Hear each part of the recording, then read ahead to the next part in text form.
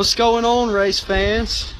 Hanging out today in the shop with the Performance Plus primary car and the backup car on scales getting ready to go.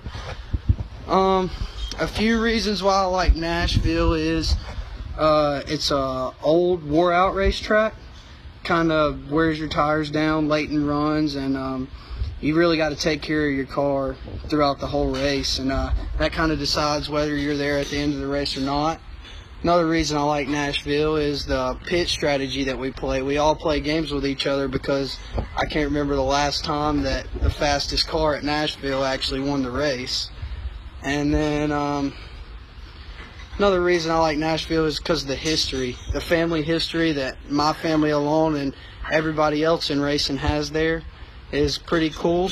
Um, and one important key to winning this race is going to be the general tires that they bring to this race is if I take care of them throughout the whole 200 laps or not because uh, that'll that'll decide whether I'm there at the end of the race or not.